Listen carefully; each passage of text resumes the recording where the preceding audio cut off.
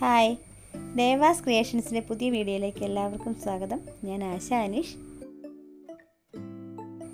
മാമ്പഴ പുളിശ്ശേരി ഇഷ്ടമില്ലാത്ത ആരും ഉണ്ടാവില്ല.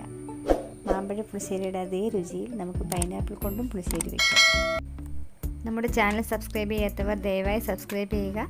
തൊട്ടടുത്ത ബെല്ലൈക്കൻ ലോൺ കൂടി കൊടുക്കണം. എങ്കിൽ മാത്രമേ ഞാനിടുന്ന വീഡിയോകളുടെ നോട്ടിഫിക്കേഷൻ നിങ്ങൾക്ക് അപ്പപ്പോൾ ലഭിക്കുകയുള്ളൂ. അര ലിറ്റർ തൈരും കാൽ ഭാഗം പൈനാപ്പിളുമാണ് നമ്മുടെ പുളിശ്ശേരിക്ക് വേണ്ടി ഞാനിവിടെ എടുത്തിട്ടുള്ളത്. അരയ്ക്കാനായിട്ട് അരമുറി തേങ്ങയാണ് എടുത്തിട്ടുള്ളത്. മുളക് പൊടി യൂസ് ചെയ്യുന്നില്ല അതുകൊണ്ട് നാലോ അഞ്ചോ പച്ചമുളക്. നമുക്ക് ഈ പൈനാപ്പിൾ ആദ്യം ഒന്ന് വേവിച്ചെടുക്കാം. ഇതിലേക്ക് കുറച്ച് മഞ്ഞൾപ്പൊടി ആവശ്യത്തിന് ഉപ്പ് വെള്ളം പച്ചമുളക് കറിവേപ്പില എന്നിവ ചേർത്ത് വയ്ക്കുക പൈനാപ്പിൾ ഒന്ന് വേകുന്ന സമയം കൊണ്ട് തേങ്ങയും അഞ്ച് ചെറിയ ഉള്ളിയും ജീരകം പൊടിച്ചതും ചേർത്ത് അരച്ചെടുക്കാം. പൈനാപ്പിൾ കഷ്ണങ്ങൾ വെന്ത് വന്നിട്ടുണ്ട്. ഈ സമയം തീ കുറച്ചതിന് ശേഷം അരപ്പ് ചേർത്ത് കൊടുക്കുക.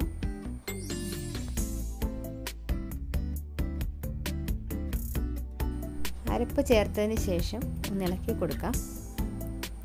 ചെറുതായി തിള വരുന്ന സമയം നമുക്ക് തൈര് ചേർത്ത് കൊടുക്കാം.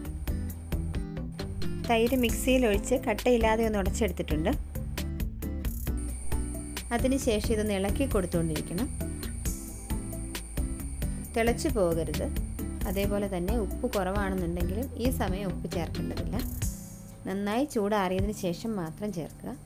ഇല്ലെന്നുണ്ടെങ്കിൽ അത് പിരിഞ്ഞു പോകും. കടുക് താളിക്കുമ്പോൾ നമുക്ക് ഉലുവ ചേർത്ത് കൊടുക്കാം. ഞാനിവിടെ പൊടി യൂസ് ചെയ്യുന്നത് കൊണ്ട് സ്റ്റൗ ഓഫ് ചെയ്തതിന് ശേഷം ചേർത്ത് കൊടുത്തിട്ടുണ്ട്.